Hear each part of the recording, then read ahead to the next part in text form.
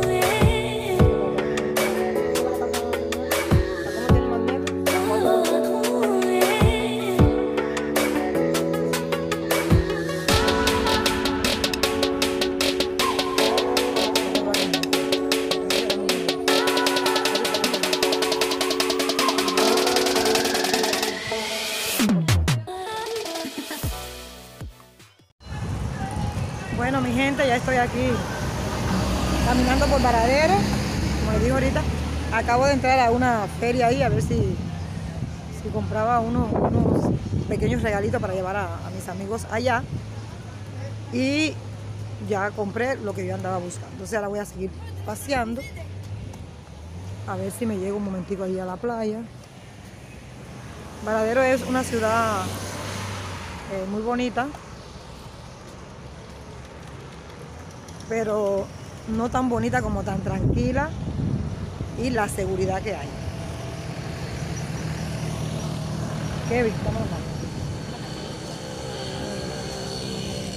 Vamos a ver si compramos lo que estoy buscando y después entonces nos comemos unos, unos heladitos. Algo frío, porque no quiero nada caliente porque aquí está haciendo calor. A diferencia de Europa, que en la mayoría de las, partes hay frío. Y está cayendo nieve. Miren qué lindo está este kiosquito. Tiene muy buena presencia. Ahí se oferta mojito, cuba libre y esas cosas. Y por último la naranja. ¿Qué naranja? ¿Había naranja? No, no la vi. Estaban así, mira. Un restaurante chino. Sí, pero ahora como lo voy a virar porque no veo. Este es un restaurante chino. Se verá bien porque yo a veces estoy grabando y pienso que la, cámara está derecha. Y esta, mira, no sé si ahí estará bien. Este es un coche tradicional. Aquí se usa muy, a los turistas les gusta mucho pasear en ellos porque así van, van despacio y pueden observar bien la ciudad. Un día yo estaba grabando y, no me di cuenta y estaba grabando para grabando para el piso. Nada de las cosas que, que le pasan a uno cuando uno está grabando y usted ni se imagina muchas veces que, que uno tiene que volver de nuevo a grabar porque no te gustó cómo te quedó el video, quizás dijiste alguna palabra que no tenía que decir y entonces decide volver a empezar.